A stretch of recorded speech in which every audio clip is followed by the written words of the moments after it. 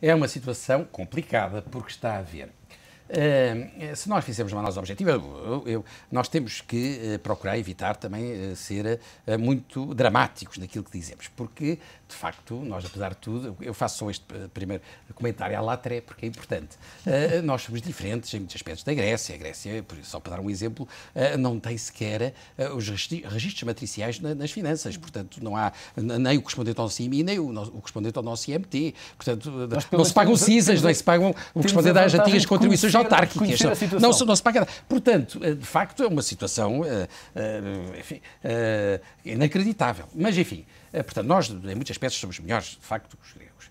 e trabalhamos mais com os gregos e, e, somos mais responsáveis. Mas a situação é muito difícil. É muito difícil no que respeita ao setor imobiliário, porque o que aconteceu foi de uma forma tanto artificial.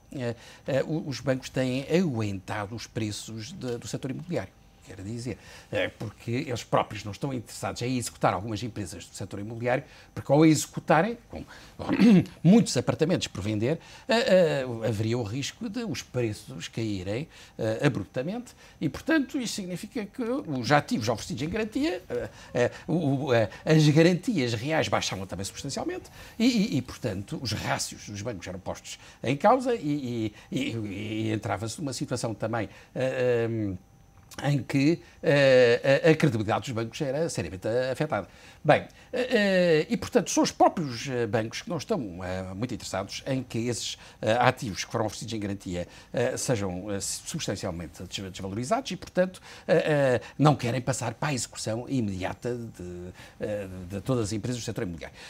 o que vai provavelmente ter que acontecer é uma reciclagem do crédito. O que, é que, o que é que eu entendo por reciclagem do crédito? Que é a concessão de crédito a outras famílias para comprarem a preços mais baixos ativos existentes mas de uma forma gradualista, quer dizer, só se vão libertar bens imóveis, ou a banca só deveria, em princípio, libertar mais eh, bens imóveis que estão a ser penhorados eh, de uma forma gradualista para evitar que haja uma descida abrupta dos preços. E, eh, evidentemente, que isto significa que para a banca ser bem sucedida nesta metodologia, precisa de tempo tem que comprar tempo. Mais uma vez, nós estamos confrontados com o problema e esse tempo custa dinheiro. que tem que ver com a tal questão que nós já vimos das alavancagem e com a venda de ativos e com aquilo que já referimos, que é a necessidade de recapitalizar os bancos, uh, uh, que é essencial haver uma recapitalização dos bancos. Só que, do meu ponto de vista, essa recapitalização, já falámos até na, na última semana sobre isso, essa recapitalização até implicaria que, em princípio, uh, a ajuda tivesse sido superior àquela que, de facto, foi acordada. Essa recapitalização uh, deveria uh, prever uh, a existência de uma, um reforço da supervisão dos bancos por parte, evidentemente, da, do Banco Central, como é evidente, mas não propriamente uma intervenção do Estado. pode haver mecanismos de fiscalização por parte do Estado, reforçados, mas, e, e do Banco Central, e uma supervisão reforçada por parte do Banco Central, mas não uma intervenção na gestão por parte do Estado, não, não uma intervenção na gestão dos bancos privados por parte do Estado. Portanto, uma recapitalização que não implicasse a intervenção direta na gestão. Como? E, portanto, ações preferenciais sem voto, por exemplo? Uh, ações preferenciais, por exemplo, ações preferenciais sem voto.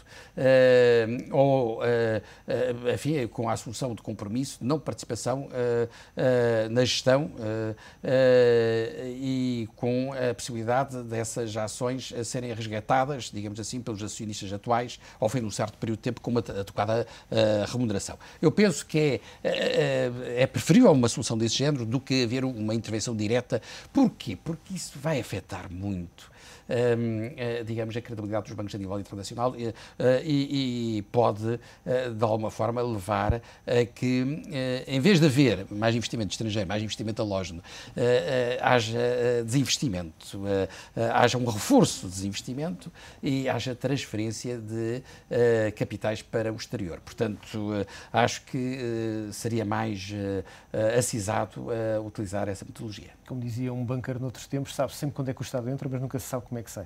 Bem, isso também é, exatamente. Essa é uma das razões. esse, é, esse é o grande problema. Possas ter o seu comentário relativamente a esta questão do, das imparidades e também do aumento do crédito mal parado no imobiliário na banca.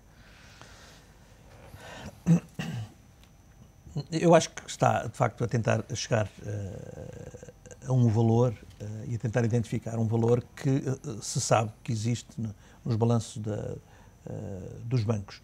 E, portanto, são valores que estão a surgir, eram valores que, que eram expectáveis, não é? A maioria deles resultam da, da, da entrega de, de, de, de casas uh, que, não, que não conseguem ser vendidas por parte dos promotores imobiliários e os bancos vêm-se obrigados a ficar com essas, uh, com essas casas. Como o António dizia muito bem, uh, também não lhes interessa desvalorizar e aumentar as imparidades que eventualmente possam ter nos seus balanços e, portanto, prejudicar ainda mais os equilíbrios de balanço. Um, agora, a banca, isto, uh, voltando um pouco atrás, numa, numa economia intermediada como, como é a nossa, uh, a banca é o coração do sistema. E, portanto, se a banca funciona mal, ou se, tem um, se o coração tem um problema, toda a economia tem um problema. Portanto, a economia tem que. Portugal tem que resolver este problema, este problema da banca. E a banca está, está com um aperto, temos um coração com um aperto uh, muito grande. Por um lado, tem ativos com imparidades que não sabemos bem onde é que terminam, ou onde é que podem terminar.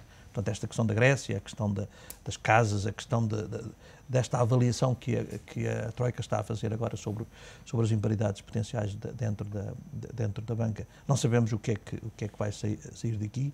Sabemos é que a banca portuguesa é uma banca relativamente bem gerida e, portanto, enfim, tem problemas, está apertada, está, está-se-lhe a exigir que uh, giram a situação uh, dos ativos numa altura de muito aperto, de, sem financiamento e uh, ainda por cima uh, com uh, obrigatoriedade de se recapitalizarem. Portanto, a banca está de facto com, com um grande problema.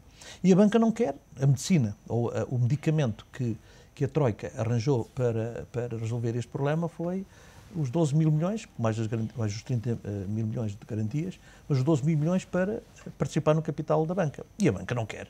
Portanto, é, o, o, doente, o médico está a receitar uma, um medicamento e o doente não quer aquele medicamento, como o António disse, e, e, e acho que tem fortes razões para Mas, se for dado de outra maneira, um medicamento com novos condimentos, Agora, a, a, banca não terá e há outras terapêuticas. Outra alternativa não quer aceitar. E há, outras, e há outras terapêuticas, porque a banca diz, e, e, diz bem, se nós temos este problema das, de, de, dos ativos, se o nosso, se nosso problema é porque temos uh, ativos parados, e ativos parados temos dívida soberana e temos dívidas das empresas públicas. Então usem isso para nos libertar do balanço. Porque se nos tirarem estes valores do balanço, nós ficamos com uh, os ativos libertos para poder financiar uh, a economia. Eu, queria, já agora, esta, esta é o que o doente já agora queria fazer aqui uma referência. que é a abdicação que quer. Eu acho que vai, vai chegar, vão chegar aqui eventualmente... Eu, eu queria já agora fazer só um comentário muito, muito, curto uh, sobre esta questão também das perspectivas que existem em, em termos de crescimento económico, que, é, que vai, neste, vai neste sentido. como sabem, tinha-se previsto uma, enfim, uma, uma contração da atividade económica na, na economia portuguesa de 2,2% este ano e 1,8% em 2012. Ora bem, eu, eu, eu acho que vai ser um bocadinho superior este ano, vai ser provavelmente 2,5%, 2,6%, coisa desse O Governo já disse que bem, temos que apontar ou, para isso. Talvez até um bocado mais. E, e, no próximo ano ele vai ser entre, quer dizer, vai haver uma contração entre 3% e 4%, pelo menos. Quer dizer, enfim, eu, eu ainda não sou nada otimista. E eu acho que vai haver uma contração uh, da ordem dos 6% a 7% uh, uh, no conjunto dos dois anos. Portanto, não estou nada otimista e acho que vai haver uma redução de, do nível de vida da população, isto em termos de rendimento disponível e em termos reais, de qualquer coisa da ordem dos 20% a 25% nos próximos 2 a 3 anos. Portanto, isso parece-me relativamente evidente. Ora bem, eu, o, o grande problema que eu vejo aqui, e nós temos é que tudo isto ainda se poderá agravar um bocado mais se houver uma crise uh, económica internacional, uh, porque uh, se na economia americana não se conseguir alterar a situação, o que acontece é que os, os, os chamados instrumentos monetários e a taxa de juros nos Estados da América já não está a funcionar em termos de incentivar o, o investimento e o crescimento económico, não é? E, e de facto, por outro lado, também recorrendo à despesa pública, há limitações por causa do endividamento não é? a América está também com outro problema, eh, que é o de que não pode compensar o seu eh, desequilíbrio ao nível da balança comercial é? com uma taxa de juros elevada que lhe permita ter fluxo de capitais, portanto, ter a balança de capitais consolidada ou a balança financeira com um saldo positivo. Portanto, provavelmente nós vamos ter, como diz o, o e não hoje isso é referido na, na, até do próprio Diário Económico, nós vamos, já estamos a ter uma, uma crise em W, portanto, portanto, já estamos a ter, já é a segunda recessão, que já estamos a entrar na segunda recessão. Rebelo Sousa, Isto então ainda vai afetar mais a perspectiva de crescimento da economia portuguesa. eu, eu interrompo-os e as notícias não escolhem a hora certa. Neste momento é possível ir para São Bento, onde a Catarina Machado está a acompanhar o final da reunião entre António José Seguro e também Pedro Passos Coelho. Catarina, António José Seguro já saiu dessa reunião com o Primeiro-Ministro? A informação que temos é que sim, é que esta reunião já terminou e que António José Seguro já se encontra na sala aqui ao lado do sítio onde ser, vão ser feitas então as declarações. Uma reunião que demorou uh, mais de duas horas, uh, começou portanto às sete e meia da tarde, hora em que António José Seguro chegou aqui então a São Bento para reunir com o Primeiro-Ministro para discutir aquilo que uh, será a situação do país. Neste momento vê-se a porta a abrir, por onde vai então sair António José Seguro, secretário-geral do PS, que vai então dar aqui, exatamente a chegar neste momento, António José Seguro. Vamos uh, ouvir o teor da conversa com Pedro Passos Coelho. Que aconteceu? Muito boa noite, agradeço muito a vossa presença.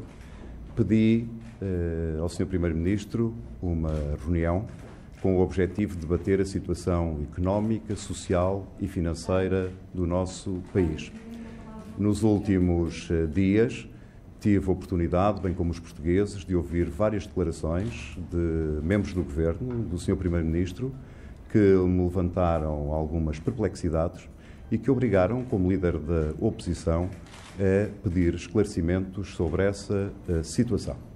O país vive numa situação muito especial, onde são pedidos muitos sacrifícios aos portugueses. O país não pode falhar no cumprimento dos compromissos internacionais e é normal que o líder da oposição eh, tenha eh, pedido esta reunião ao Sr. Primeiro-Ministro para se inteirar dessa situação e do que significava muitas das intervenções públicas que foram feitas. Ao mesmo tempo, tive a oportunidade para reafirmar muito daquilo que são as posições eh, públicas que já assumi, que são do conhecimento dos portugueses, designadamente no que diz eh, respeito à necessidade do país ter uma agenda para o crescimento e para o emprego e também do país ter uma posição o mais uh, politicamente alargada de afirmação da defesa dos nossos interesses no seio da União Europeia. É conhecido que eu entendo que há uma parte dos nossos problemas que têm a ver com as responsabilidades internas e que só a nós dizem respeito, mas há um conjunto de outros problemas que carecem de uma solução no seio da União Europeia, particularmente de um país como o nosso, que faz parte da zona euro. Esta é, em síntese, eh, as razões que me levaram a pedir esta audiência ao Sr. Primeiro-Ministro. E mais teor das declarações Primeiro-Ministro eh, Foi... que se refere à declaração de eventual necessidade de um segundo pedido de ajuda externa? Foi uma reunião uh, que demorou duas horas, naturalmente, e, como calculam, não vou uh, falar de nenhum assunto em detalhe que se passou nessa reunião. Mas não quero fugir à sua pergunta e quero lhe dizer que não encontro nenhuma razão para que Portugal uh, não cumpra e não execute o memorando assinado em maio pelo governo português.